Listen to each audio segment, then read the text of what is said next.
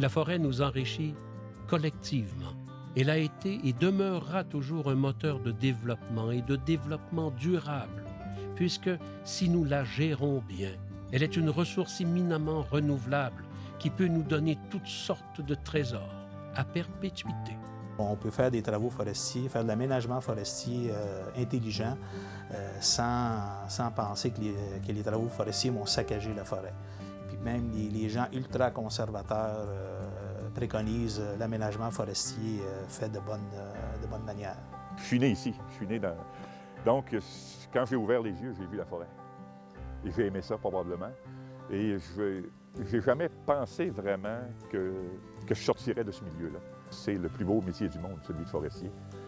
C'est des gens généreux, c'est des gens extrêmement solidaires. Ça, c'est probablement ce que, ce que j'ai le plus apprécié aussi de, du milieu forestier.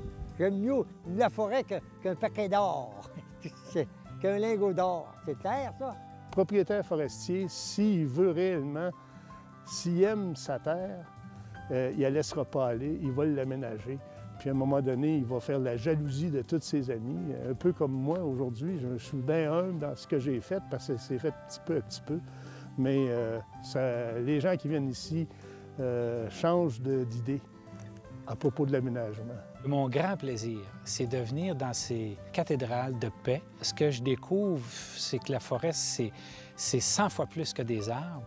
C'est tout un, un, un habitat euh, d'animaux, euh, de sons, de lumière. Vous avez vu aujourd'hui, c'est extraordinaire, de couleurs, euh, dans lequel on vient se reposer en travaillant tranquillement. Quand on voit un arbre comme ça, puis qu'on a planté là, à 30 cm, à un pied, là, puis qu'on le voit gros comme ça, là, je peux vous dire une chose, qu'on est fiers de ça.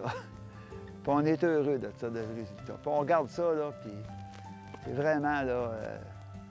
C'est important d'aménager une forêt que d'aménager sa maison, par exemple. Une maison, on ne la laisse pas comme ça, on l'entretient. Bien, une forêt, c'est la même chose. Je pense qu'il faut l'entretenir. Il faut donner une chance aux grands arbres de pousser, de pousser librement et de devenir beaux, grands et forts.